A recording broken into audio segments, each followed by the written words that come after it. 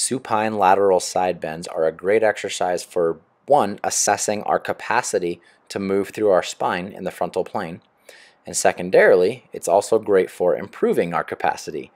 to move laterally through our spine, as well as get the obliques to really engage well,